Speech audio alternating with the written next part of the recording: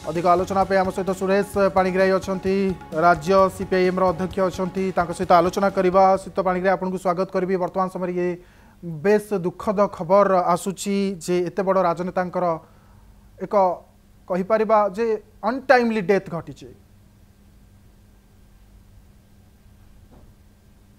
କରିପାରୁନ ଏଭଳି ଏକ ଧକ୍କା ହେଇଛି ଇଏ ସମଗ୍ର କମ୍ୟୁନିଷ୍ଟ ଆନ୍ଦୋଳନ ବାମପନ୍ଥୀ ଆନ୍ଦୋଳନ ଭାରତର ଗଣତନ୍ତ୍ର ଧର୍ମନିରପେକ୍ଷତାର ସୁରକ୍ଷା ପାଇଁ ଏକ ଦାରୁଣ ଧକ୍କା ଏବଂ ତମାମ ଦୁନିଆରେ ଏବଂ ଭାରତରେ ଲୋକପ୍ରିୟ କମ୍ୟୁନିଷ୍ଟ ନେତା ଯିଏ ଚିନ୍ତା କରୁଥିଲେ ସାରା ଭାରତବର୍ଷର ମେହନତ ମଣିଷ ପାଇଁ ଜଣେ ଚିନ୍ତାନାୟକ ସବୁଦିନ ପାଇଁ ଆଖି ବୁଝିଥିଲେ ଏ କ୍ଷତି ଭରଣା ହେବା ଏତେ ସହଜ ନୁହଁ। ଆଜି ଆମ ଦେଶର କଠିନ ରାଜନୈତିକ ପରିସ୍ଥିତିରେ ସୀତାରାମ ୟେଚୁରୀଙ୍କ ଆକସ୍ମିକ ବିୟୋଗ ଏ ସମଗ୍ର ଦେଶବାସୀଙ୍କ ପାଇଁ ଅପୂରଣ କ୍ଷତି। ଏଥିରେ ଆମେ ମର୍ମାହତ ଏବଂ ସମଗ୍ର ପାର୍ଟି ତାର ଅନୁଗାମୀ ଶୁଭେଚ୍ଛୁ ଏଭଳି ଏକ ଦାରୁଣ ପରିସ୍ଥିତିରେ ସମସ୍ତେ ଆତ୍ମହରା ହୋଇପଡୁଛନ୍ତି।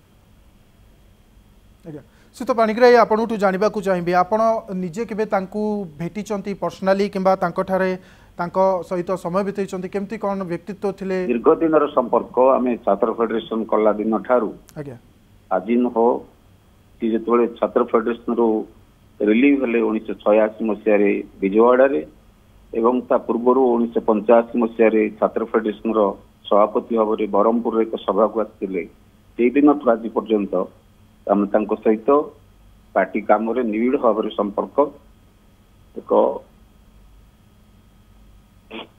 ଅନନ୍ୟ ଜନନେତା ଏବଂ ଆଜିର ଭାରତବର୍ଷ ପରିସ୍ଥିତି ଦୂରଦୃଷ୍ଟି ନେଇ ସେ ଯୋଉ ପରିକଳ୍ପନା କରୁଥିଲେ ଆଜି ଏକ ଅ, ଅନ୍ଧକାରମୟ ପରିସ୍ଥିତି ସୃଷ୍ଟି ହେଇଛି ସୀତାରାମ ୟେଚୁରୀଙ୍କର ବିୟୋଗ ନିହାତି ଭାବରେ ବେଶ ମର୍ମାହତ ସୁରେଶ ପାଣିଗ୍ରାହୀ ଆମ ସହିତ ଅଛନ୍ତି ସୁତ ପାଣିଗ୍ରାହୀ ଜାଣିବାକୁ ଚାହିଁବି ସୀତାରାମ ୟେଚୁରୀ ଆଉ ବିଶେଷ କରି ସିପିଆଇଏମ୍ କେଉଁ ବିଚାରଧାରାକୁ ଗ୍ରହଣ କରିଥିଲେ କ'ଣ ଏଜେଣ୍ଡା ଥିଲା କ'ଣ ତାଙ୍କର ଭବିଷ୍ୟତ ଭାରତର ଛବି ଥିଲା ତାଙ୍କ ମନରେ? ଛାତ୍ର ଜୀବନରୁ ମାର୍କ୍ସବାଦ ଜେଏନ୍ରୁ ସେ ତିନି ତିନି ଥର ସଭାପତି ଛାତ୍ର ଜୀବନରୁ ମାର୍କ୍ସବାଦ ବିଚାର ସହିତ ଅନୁରକ୍ତ ରହି ସିଏ ସିପିଆଇଏମ୍ ର ଏଇଭଳି ଏକ ନେତା ଯିଏ ପଲିଟିଭର ସଦସ୍ୟ ଭାବରେ ଯେତେବେଳେ ନିର୍ବାଚିତ ହେଇଥିଲେ ସେତେବେଳେ ସିଏ ସର୍ବକନିଷ୍ଠ ସଭ୍ୟ ଥିଲେ ଏବଂ ସିଏ ମାତ୍ର ସଇଁତିରିଶ ବର୍ଷ ବୟସରେ ସିପିଆଇଏମ୍ ର ପଲିଟିଭରକୁ ଯାଇଥିଲେ ତମାମ ଭାରତବର୍ଷର ଏବଂ ବିଶ୍ୱର ଆନ୍ତର୍ଜାତିକ କମ୍ୟୁନିଷ୍ଟ ଆନ୍ଦୋଳନ ସହିତ ତାଙ୍କର ସୁସମ୍ପର୍କ ଥିଲା ବିଶେଷ କରି ଭାରତବର୍ଷରେ ସାମ୍ପ୍ରଦାୟିକ ଦାବାନଳ କବଳରୁ ଦେଶକୁ ରକ୍ଷା କରିବା ପାଇଁ ଆମର ଦେଶର ଗଣତନ୍ତ୍ର ସାଧାରଣତନ୍ତ୍ର ରାଷ୍ଟ୍ର ଧର୍ମନିରପେକ୍ଷତା এই ଆନ୍ଦୋଳନକୁ ଆଗେଇ ନେବା ପାଇଁ ସୀତାରାମ ୟେଚୁରୀଙ୍କର ଅବଦାନ ସବୁଠୁ ଅନନ୍ୟ ଅସାଧାରଣ କହିଲା ଅତ୍ୟୁକ୍ତି ହେବ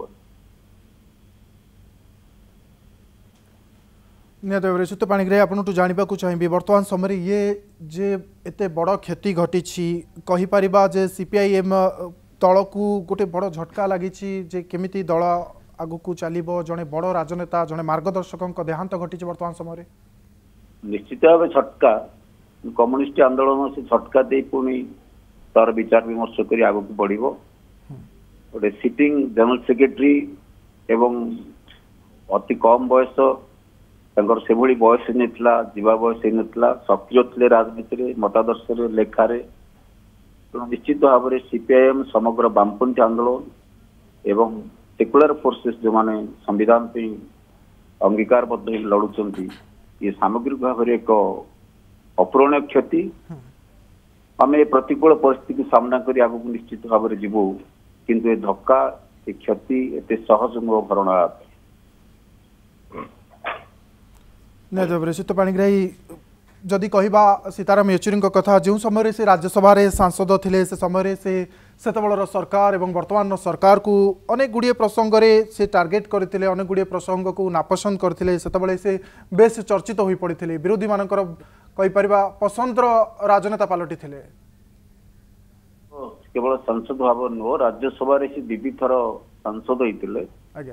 ତାଙ୍କର ଯୋଉ ଉଚ୍ଚକୋଟୀର ବିତର୍କ ଆମର ଯୋଉମାନେ କଟ୍ଟର ବିରୋଧୀ ଭାରତୀୟ ଜନତା ପାର୍ଟିର ନେତାମାନେ ମଧ୍ୟ ତୀକ୍ଷ୍ଣ ଦୃଷ୍ଟିରେ ଏବଂ ତୀକ୍ଷ୍ଣ ନଜରରେ ଶୁଣୁଥିଲେ ଏବଂ ପାର୍ଲାମେଣ୍ଟର ବିତର୍କରେ ସିଏ ଏକ ଶୀର୍ଷ ସ୍ଥାନକୁ ନେଇଯାଇଥିଲେ ପ୍ରତିଟି ପ୍ରସଙ୍ଗ ଉପରେ।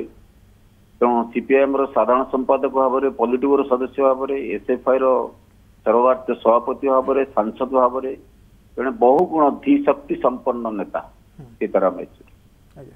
ସିଏ ସେଇଭଳି ଏକ ମେଧାଶକ୍ତି ସମ୍ପନ୍ନ ନେତା ଯିଏକି ସବୁ ଦିଗରୁ ଦଳକୁ ଏବଂ ବାମ ଆନ୍ଦୋଳନକୁ ଆଗେଇ ନେବା ପାଇଁ ତାଙ୍କର ଯୋଉ ଦୂରଦୃଷ୍ଟି ସମ୍ପନ୍ନ ରାଜନୈତିକ କୌଶଳ ସେଇଟା ସବୁଠୁ ଆଜିର ପରିସ୍ଥିତିର ଆବଶ୍ୟକତା ଥିଲା। ସେ ତ ପାଣିଗ୍ରାହୀ ଯଦି କହିବା ଆମେ ଜରୁରୀକାଳୀନ ପରିସ୍ଥିତି କଥା ଉଣେଇଶହ ପଞ୍ଚସ୍ତରୀ ସେତେବେଳେ ମଧ୍ୟ ସେ ଗିରଫ ହୋଇଥିଲେ କହିପାରିବା କଂଗ୍ରେସର ମଧ୍ୟ ଏକ ବିରୋଧୀ ଥିଲେ ସେ ସମୟରେ ଶାସକଙ୍କୁ ମଧ୍ୟ ସେ ବିରୋଧ କରୁଥିଲେ। ପରବର୍ତ୍ତୀ ସମୟରେ କହିପାରିବା ବିଜେପିକୁ ମଧ୍ୟ ବିରୋଧ କରିଛନ୍ତି। ଅନେକ ତାଙ୍କର ରହିଛି ମତା ମତଭେଦ ରହିଛି ସରକାର ସହିତ। ତଥାପି ସୀତାରାମ ୟେଚୁରୀଙ୍କର ବିଚାରଧାରା କିଭଳି ଥିଲା? କେଉଁଭଳି ଭାରତର ସ୍ୱପ୍ନ ସେ ଦେଖୁଥିଲେ? କାରଣ ପରିସ୍ଥିତି ତାଙ୍କର ଶାସନ ବ୍ୟବସ୍ଥା ଓ ଅର୍ଥନୀତି ବ୍ୟବସ୍ଥା ବିରୋଧ ରହିଥିଲା। କଂଗ୍ରେସ ବିରୋଧୀ ଆନ୍ଦୋଳନ ସହିତ ଭାରତୀୟ ଜନତା ପାର୍ଟିର ଯେତେବେଳେ ଅବିରୋଧ ଘଟିଛି ତା ବିରୁଦ୍ଧରେ ବି ଲଗାତାର ସଂଗ୍ରାମ ସିପିଆଇଏମ କରିଛି ସୀତାରାମ ୟେଚୁରୀ ତାକୁ ଦିଗ୍ଦର୍ଶନ ଦେଉଥିଲେ ସୀତାରାମ ୟେଚୁରୀଙ୍କର ସବୁଠୁ ବଡ ବିଶେଷତ୍ୱ ହଉଛି ଯେ ସବୁ ସମଭାବାପନ୍ନ ଦଳମାନଙ୍କୁ ବାମ ଗଣତାନ୍ତ୍ରିକ ଧର୍ମନିରପେକ୍ଷ ଦଳମାନଙ୍କୁ ଆମ ଦଳର ଏବେ ସୀମିତ ଶକ୍ତି ହେଲେ ବି ପାର୍ଲାମେଣ୍ଟରେ କିନ୍ତୁ ଯୋଉ ଇଣ୍ଡିଆ ବ୍ଲକ ଗଠନ ହେଇଥିଲା ଇଣ୍ଡିଆ ବ୍ଲକ ଗଠନର ଗୋଟେ ଅନ୍ୟତମ ରୂପକାର ଭାବରେ ସେ କାମ କରୁ ଇଣ୍ଡିଆ ବ୍ଲକ କେମିତି ଶକ୍ତିଶାଳୀ ହବ ଯୋଉ କେତେକ ନେତାଙ୍କର ଅବଦାନ ଥିଲା ସୀତାରାମ ୟେଚୁରୀ ସେ ତାର ଅନ୍ୟତମ ଶୀର୍ଷ ସ୍ଥାନରେ ଥିଲେ। ନିହାତି ଭାବରେ ବେଶ ଅବଦାନ ରହିଛି ଭାରତୀୟ ରାଜନୀତି ପ୍ରତି। ବହୁତ ବହୁତ ଧନ୍ୟବାଦ। ଆମ ସହିତ ସୁରେଶ ପାଣିଗ୍ରାହୀ ଥିଲେ ରାଜ୍ୟ ସମ୍ପାଦକ ମଣ୍ଡଳୀ ସଦସ୍ୟ ସିପିଆଇଏମ୍ ଓଡ଼ିଶାର ବହୁତ ବହୁତ ଧନ୍ୟବାଦ ସହିତ ପାଣିଗ୍ରାହୀ ଆମ ସହିତ ଆଲୋଚନା କରିବା ପାଇଁ। ଆମ ସହିତ ଜନାର୍ଦ୍ଦନ ପତି ମଧ୍ୟ ଯୋଡ଼ି ଯାଇଛନ୍ତି ସଦସ୍ୟ ସିପିଆଇଏମ୍ ଓଡ଼ିଶା ସମ୍ପାଦକ ସଦସ୍ୟ ମଣ୍ଡଳୀର। ଶୀତପତି ଆପଣଙ୍କୁ ସ୍ୱାଗତ କରିବି। ବର୍ତ୍ତମାନ ସମୟରେ ଇଏ ଖବର ଆପଣଙ୍କୁ ବେଶ ମର୍ମାହତ କରିଥିବ ଦୁଃଖିତ କରିଥିବ ଯେ ଏତେ ବଡ଼ ରାଜନେତା ସିପିଆଇଏମ୍ର ଏତେ ବଡ଼ ମାର୍ଗଦର୍ଶକ ବର୍ତ୍ତମାନ ସମୟରେ ତାଙ୍କର ଦେହାନ୍ତ ଘଟିଛି। ହଁ ସେ ତ ତାଙ୍କର ଆଜି ଅପରାହ୍ନ ଅ, ତିନିଟା ତିନି ମିନିଟରେ ଆଜ୍ଞା ଆ, ତାଙ୍କର ଦେହାନ୍ତ ଘଟିଲା ଏମ୍ସ ହସ୍ପିଟାଲରେ ଦିଲ୍ଲୀରେ ସୀତାରାମ ୟେଚୁରୀ ଭାରତବର୍ଷ ରାଜନୀତିରେ ଜଣେ ପୂଜିତ ସୂର୍ଯ୍ୟ ଥିଲେ ଏବଂ ଉଣେଇଶହ ପଞ୍ଚସ୍ତରୀ ମସିହା ଠାରୁ ଏପର୍ଯ୍ୟନ୍ତ ଛାତ୍ର ରାଜନୀତିରୁ ଆରମ୍ଭ କରିକି ଭାରତବର୍ଷ ରାଜନୀତି ଏବଂ ବିଶ୍ୱ ଦରବାରରେ ସମାଜବାଦୀ ଆଦର୍ଶ ଭାରତ ବିଶ୍ୱର ବିଭିନ୍ନ ଦେଶ ସହିତ ଅ, ଘଟଣା ଅଘଟଣା ସମ୍ପର୍କରେ ତାଙ୍କର ତିର୍ଯ୍ୟକ ଅନୁଭୂତି ଏବଂ ତାଙ୍କର ବିଶ୍ୱାସ ଚମତ୍କାର ସବୁବେଳେ ଥିଲା ସେ କେବଳ ଭାରତବର୍ଷ ରାଜନୀତି ବିଶ୍ୱସ୍ତ କରୁନଥିଲେ ସେ ସମଗ୍ର ବିଶ୍ୱ ରାଜନୀତି କି ବିଶ୍ୱସ୍ତ କରୁଥିଲେ ତାଙ୍କର ବର୍ତ୍ତମାନ ଆମ ପାଇଁ ଏକ ଦାରୁଣ କ୍ଷତି ଏ, ଦେଇଛି କେବଳ କମ୍ୟୁନିଷ୍ଟ ପାର୍ଟି ମାର୍କ୍ସବାଦୀ ପାଇଁ ନୁହଁ ଏଇଟା କେବଳ ବାମପନ୍ଥୀ ମାନଙ୍କ ନୁହଁ ଭାରତବର୍ଷ ଗଣତନ୍ତ୍ର ପାଇଁ ଏଇଟା ଏକ ବିରାଟ କ୍ଷତି ହେଲା ଏଇଟା ହେଉଛି ମୋର ଅଭିମତ ନିହାତି ଭାବରେ ଶୀତପତି ଆପଣ ଯାହା କହୁଥିଲେ ଯେ ବଡ଼ କ୍ଷତି ହୋଇଛି ଶୀତପତି ଆପଣ ତାଙ୍କ ସହିତ ବ୍ୟକ୍ତିଗତ ଭା- ଭାବେ ମଧ୍ୟ ଭେଟିଥିବେ ଅନେକ ଥର। କିଭଳି ବ୍ୟକ୍ତିତ୍ୱ ଥିଲା ମୁଁ ତାଙ୍କର? ପଞ୍ଚସ୍ତରୀ ମସିହାରୁ ସୀତାରାମ ସହିତ ଜଡିତ ଥିଲି। ଆଜ୍ଞା। ଦେଶଫାଇରେ ଆରମ୍ଭ କରିକିରି ଆ, ମୁଁ ଓଡ଼ିଶା ପାର୍ଟି ସେକ୍ରେଟାରୀ ଥିଲାବେଳେ ବି ମୁଁ ଚବିଶ ବର୍ଷ ଧରି ଓଡ଼ିଶା ପାର୍ଟି ସେକ୍ରେଟାରୀ ଥିଲି ସେତେବେଳେ ବି ଓକେ ସେ ବହୁତ ଥର ଓଡ଼ିଶା ଆସିଛନ୍ତି ଅନେକ ରାଜନୈତିକ ମତାମତ ପ୍ରସଙ୍ଗ ଉପରେ ସେମିନାରକୁ ତାଙ୍କୁ ମୁଁ ଡାକିଛି ଓକେ ଏବଂ ଏ ପାର୍ଟିର ଜେନେରାଲ ସେକ୍ରେଟାରୀ ଥିଲାବେଳେ ଅନେକ ଏ, ବିବାଦୀୟ ପ୍ରସଙ୍ଗ ତାଙ୍କ ସାମ୍ନାକୁ ଆସିଛି ଏବଂ ସେ ଅତ୍ୟନ୍ତ ଦକ୍ଷତା ସହିତ ସେଗୁଡିକ ସେ ତୁଲଉଥିଲେ ଏବଂ ଭାରତବର୍ଷରେ ବାମପନ୍ଥୀ ଦଳମାନଙ୍କୁ ନୁହଁ କେବଳ ସମସ୍ତ ଗଣତାନ୍ତ୍ରିକ ଶକ୍ତିମାନଙ୍କୁ କେମିତି ଏକତ୍ରିତ କରାଯାଇପାରିବ ଏବଂ ସାମ୍ରାଜ୍ୟବାଦ ବିରୁଦ୍ଧରେ ଲଢେଇରେ ଏବଂ ଭାରତବର୍ଷରେ ଧର୍ମୀୟ ଫାସିବାଦ ବିରୁଦ୍ଧରେ ଲଢେଇରେ ସେ ତାଙ୍କର ଏକ ଉଚ୍ଚାଙ୍ଗ ଭୂମିକା ଛାଡ଼ି ଦେଇ ଯାଇଛନ୍ତି ଯୋଉଟାକି ଆଗାମୀ ପିଢି ପାଇଁ ଏକ ମାର୍ଗଦର୍ଶକ ରହିବ ଆଜ୍ଞା ଶୀତପତି ଯାହା ଆପଣ କହୁଥିଲେ ଯେ ବ୍ୟକ୍ତିଗତ ଭାବେ ତାଙ୍କ ସହିତ ଭେଟିଛନ୍ତି କ'ଣ ଏଜେଣ୍ଡା ଥିଲା? ବର୍ତ୍ତମାନର ରାଜନୀତି ଭାରତର ବର୍ତ୍ତମାନର ରାଜନୀତିକୁ ନେଇକି ତାଙ୍କର କ'ଣ ମତ ରହିଥିଲା? କିଭଳି ଭବିଷ୍ୟତ ଦେଖିଥିଲେ ଭାରତ ପାଇଁ ସେ? ସେ ତ ସବୁବେଳେ କହୁଥିଲେ ଯେ ନିର୍ବାଚନ ପୂର୍ବରୁ କୌଣସି ମେଣ୍ଟ ସ୍ଥାୟୀ ହୁଏ ନାହିଁ। ସେ ଆଜ୍ଞା କହୁଥିଲେ ଯେ ସମସ୍ତ ମେଣ୍ଟ ପ୍ରାୟ ନିର୍ବାଚନ ପରେ ହିଁ ହୁଏ। ଏବଂ ଦୁଇ ହଜାର ଚବିଶ ଇଲେକ୍ସନ ପରେ ବିଜେପିର ଯେତେବେଳେ କୋଡ଼ିଏ ପରସେଣ୍ଟ ସିଟ୍ ହ୍ରାସ ପାଇଲା। ଏଇ ପଟ୍ଟଭୂମିରେ ସେ ଭାରତ ବର୍ଷରେ ଏକ ଧର୍ମୀୟ ଫାସିବାଦୀ ଏକ ଛାତ୍ରବାଦୀ ଶାସନ ପରିସମାପ୍ତି ଘଟି ଏକ ବୃହତ୍ତର ଗଣତାନ୍ତ୍ରିକ ଶକ୍ତିମାନଙ୍କୁ ନେଇକରି ଏକ ମଞ୍ଚ ତିଆରି କରିବାକୁ ସେ ଏକ ପରିକଳ୍ପନା କରିଥିଲେ। ଏବଂ ଏ ପରିକଳ୍ପନାକୁ କାର୍ଯ୍ୟକାରୀ କରିବା ପାଇଁ ସେ ବିଭିନ୍ନ ରାଜନୈତିକ ଦଳମାନଙ୍କ ସହିତ ସେ ସମଝୋତା ସମ୍ପର୍କ ରକ୍ଷା କରିଥିଲେ ଏବଂ ନିର୍ବିବାଦରେ ବିଜେପି ଠାରୁ ଆରମ୍ଭ କରିକିରି ନକ୍ସଲବାଦୀ ଆନ୍ଦୋଳନ ନେତାମାନେ ତାଙ୍କୁ ସମ୍ମାନ ଜଣାଉଥିଲେ ନେପାଳରେ ଯେତେବେଳେ ରାଜନୈତିକ ସଙ୍କଟ ଦେଖାଯାଇଥିଲା ସେତେବେଳେ ସେ ନେପାଳ ଯାଇକି ସେ ସମସ୍ୟାର ସମାଧାନ କରିଥିଲେ ଓକେ ଅ, ଏବଂ ସେ ସବୁବେଳେ ଚାହୁଁଥିଲେ ଭାରତ ବର୍ଷ ପଡୋଶୀ ଦେଶମାନଙ୍କ ସହିତ ତାଙ୍କର ବୈଦେଶିକ ନୀତି ସମ୍ପର୍କରେ ଅଭିଜ୍ଞ ଜ୍ଞାନ ଥିଲା ଏବଂ ସେ ସବୁବେଳେ ଚାହୁଁଥିଲେ ଭାରତ ବର୍ଷ ତାର ପଡୋଶୀ ଦେଶମାନଙ୍କ ସହିତ ସୁସମ୍ପର୍କ ପ୍ରତିଷ୍ଠା କରି ରଖିପାରିଲେ ହିଁ ଭାରତର ର ପ୍ରଗତି ସମ୍ଭବ ହେଇପାରିବ। ଭାରତର ବିକାଶ ସମ୍ଭବ ହେଇପାରିବ। ତ ତାଙ୍କର ତାଙ୍କ ସହିତ ଯୋଉମାନେ ମିଶିଛନ୍ତି ତାଙ୍କ ସହିତ ଯୋଉମାନେ ଆଲୋଚନା କରିଛନ୍ତି ତାଙ୍କର ଧୀଶକ୍ତି ତାଙ୍କର ଜ୍ଞାନର ଭଣ୍ଡାର ଏବଂ ଜଣେ ସୁବକ୍ତା ହୋଲ ପାର୍ଲାମେଣ୍ଟକୁ ସେ ଯେତେବେଳେ ବାର ବର୍ଷ ଥିଲେ ରାଜ୍ୟସଭାର ମେମ୍ବର ହୁଁ। ତାଙ୍କର କଥା କହିଲା ବେଳେ ବିରୋଧୀ ଦଳ ମାନେ ମଧ୍ୟ ଚୁପ୍ ହେଇ ରହୁଥିଲେ ଏବଂ ରାଜ୍ୟସଭାର ସ୍ପିକର କହୁଥିଲେ ଯେ ତାଙ୍କ କଥା ଶୁଣ।